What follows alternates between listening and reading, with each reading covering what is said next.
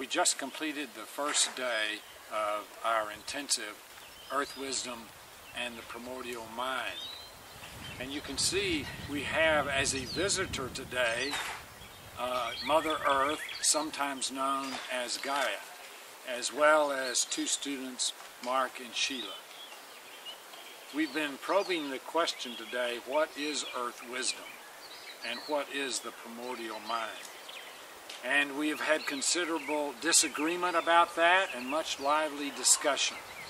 So along the way, we have, we have uh, spoken about the primordial mind being that interlinking intelligence that first showed itself a millisecond after the Big Bang.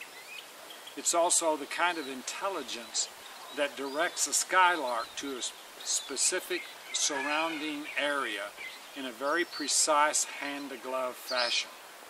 And it's the same intelligence that allows us as humans to call upon the untamed part of ourselves that through which we can access a deeper wisdom and a deeper intelligence. So I'm wondering if Mother Gaia has anything to say. I have a lot to say. It's been a wonderful day, and I think we've dealt with some very severe disturbances in the eco field, but from the feminine perspective. So when I think about the bad news on the earth, I come from a place of grief and sadness. I'm not angry, but I am sad. But I'm also searching for balance, always searching for balance. And my purpose for existence is life.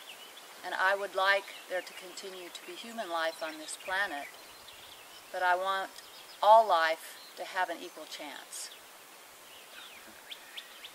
And Shiila, besides holding on the hat, well, what, what has been your response to the day?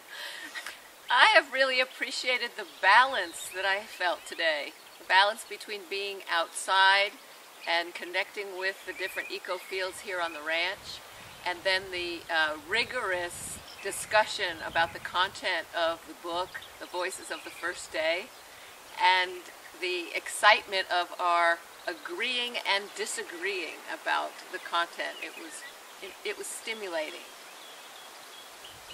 And Mark? Well, for, for me, I, I found it, this is my very first day uh, at Wisdom University. So what I really appreciated was the, the quality of openness and honesty to disagree with each other, to agree, to support each other. Um, and that combination of, of um, intellectual uh, rigor and heartfelt openness to new ideas. And I think that's probably the answer for um, what lies ahead for all of us.